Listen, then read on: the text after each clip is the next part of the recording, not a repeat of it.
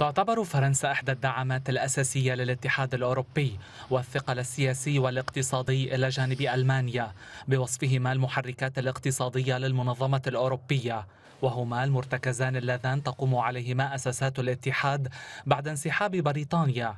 فباريس أهم مركز مالي في الاتحاد وتمتلك موارد بشرية عالية الكفاءة والإنتاجية حيث استطاعت بمساعدة ألمانيا انتشال عدد من دول الاتحاد من براثن الانهيارات المالية كاليونان والبرتغال وإيرلندا.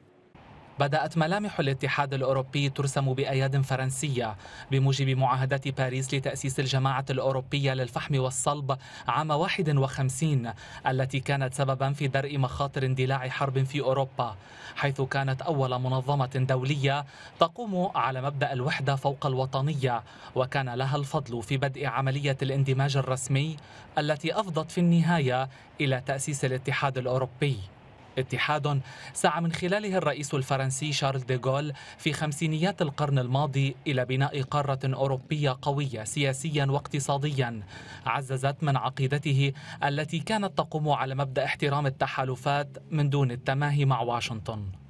وبعد التراجع الدولي الذي رافق فرنسا خلال العقدين الماضيين بات واضحا أن باريس تحاول لعب دور قائد الاتحاد الأوروبي في العلاقة مع الخارج.